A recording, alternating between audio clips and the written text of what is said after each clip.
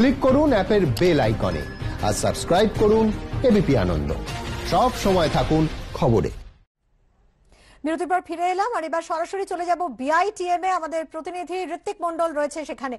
ঋত্বিক, এখন ঠিক কি ছবি তুমি দেখতে পাচ্ছ? কারণ কলকাতার কিছু কিছু জায়গা থেকে গ্রহণ কিন্তু দেখা যাচ্ছে। বৃষ্টি কমে গিয়ে মেঘ সরে যেতেই সূর্যকে দেখা যাচ্ছে।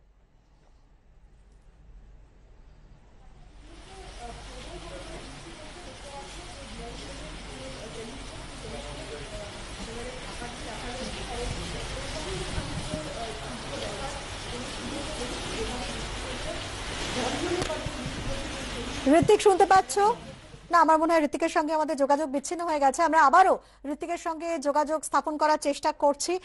তবে সুদীপ্ত বাবু সত্যি আমরা যেরকম দেখলাম যে কলকাতার কিছু কিছু জায়গা থেকে কিন্তু মানে একটু সময়ের জন্য হয়তো দেখা যাচ্ছে যেই বৃষ্টিটা থামছে, মেঘটা সরে যাচ্ছে। কিন্তু এখনও হয়তো সব জায়গা থেকে সেভাবে দেখা যাচ্ছে না। কিন্তু এটা তো ঠিক, বেশি দশটা ছেচল্লিশে যেখানে শুরু হয়েছে টেন পার্সেন্টের বেশি মানে সূর্য ঢেকে গিয়েছে। একদমই। কিন্তু যেহেতু মেঘাচ্ছন্ন রয়েছে কলকাতায় বৃষ্টি হয়েছে এখন ছোট ছোট জায়গায় লোকালাইজড মেঘ করছে বৃষ্টি হচ্ছে আবার সানরাইজ হচ্ছে এই সানশাইন দেখা যাচ্ছে।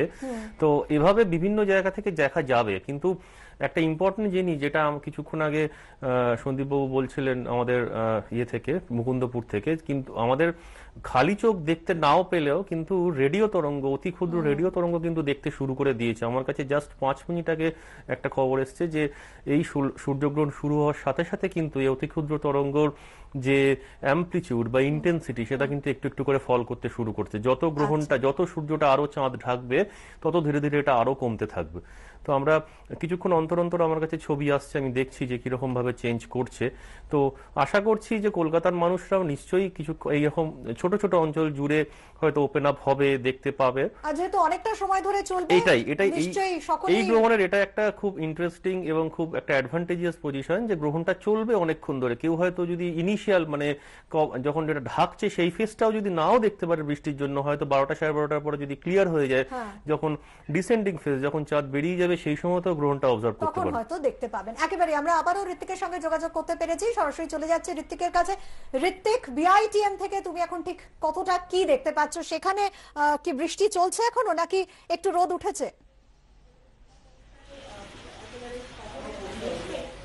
বৃষ্টি একেবারে দেখো বিড়লা ইন্ডাস্ট্রিয়াল অ্যান্ড টেকনোলজিক্যাল মিউজিয়ামের এই মুহূর্তে যে প্রস্তুতি, সে খানিকটা মাঠে মারা গিয়েছে, এটা পরিষ্কারভাবে বলা যেতে পারে। কারণ এই মুহূর্তে যেমনটা একটু আগে যেমনটা আমরা আলোচনাও করছিলাম প্রসঙ্গত, যে ঘড়ির কাটায় দশটা ছেচল্লিশ বাজলে কলকাতায় এই আংশিক সূর্যগ্রহণ দেখার সম্ভাবনা ছিল। প্রস্তুতিটা আজ সকাল থেকে ঠিক তেমনটাই চলছিল।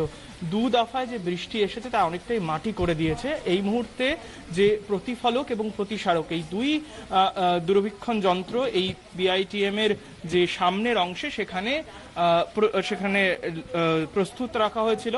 ডিরেক্টর ভি এস রামচন্দ্রন তিনি নিজে ছিলেন এবং তারা সবটাই সেরে রেখেছিলেন। প্রস্তুতি এমনটা ছিল যে ওখান থেকে এই দুটি দূরবীক্ষণ যন্ত্রের সাহায্যে, অর্থাৎ প্রতিফলক এবং প্রতিসারক দূরবীক্ষণ যন্ত্রের সাহায্যে, কলকাতা থেকে যে ছেষট্টি শতাংশ আজকের এই প্রথম আংশিক সূর্যগ্রহণের দেখা সম্ভব হবে কলকাতা সহ দেশের অন্যান্য শহরগুলো থেকে, যদিও উত্তর ভারতে পূর্ণ বলয়গ্রাস সূর্যগ্রহণ দেখার সৌভাগ্য রয়েছে, যেখানে নিরানব্বই শতাংশ সূর্য চাঁদের চাঁদের যে ছায়া সেটা ঢেকে যাবে, একেবারে চাকতি চাকতি মিলে যাবে, এরকম অবস্থা হওয়ার সম্ভাবনা রয়েছে, কিন্তু এই মুহূর্তে মেঘ যেহেতু ঢেকে দিয়েছে এবং ভীষণ বৃষ্টি হচ্ছে ফলে সেটা একেবারে খানিকটা বেগ পেতে হয়েছে। এখন একেবারে একেবারে ঋত্বিক এখন খুবই বৃষ্টি হচ্ছে বিআইটিএম অঞ্চলে সুতরাং সেখানে এখন কিছু দেখা যাচ্ছে না কিন্তু কলকাতার কিছু কিছু জায়গায় যেখানে আকাশ পরিষ্কার হয়ে গেছে সেখান থেকে কিন্তু স্পষ্ট দেখা যাচ্ছে এটা বিরতির সময় হয়ে গেছে। বিরতির পর আবারও ফিরে আসছে এই খবরে সঙ্গে থাকবেন।